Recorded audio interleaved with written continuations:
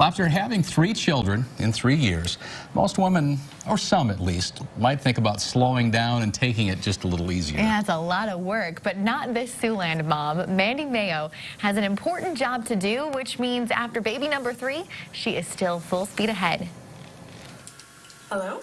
Mandy Mayo knows how to keep busy. She has a three year old, a two year old, and a four month old at home. That's on top of the 15,000 youngsters she's in charge of keeping track of at work. The greatest blessing I have in this job is being able to tell all of the wonderful things our students do. And who doesn't love seeing the kids doing really cute things? Mandy Mayo is the Sioux City School District's Director of Communications. She's in charge of sharing all of the amazing things happening in our schools, all while making her own amazing memories with her three young kids.